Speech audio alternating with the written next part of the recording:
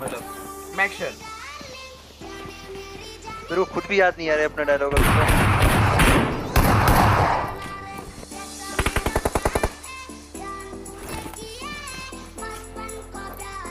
मैं नहीं गुजरा यार, बहुत बड़ी चीज़ गई तो।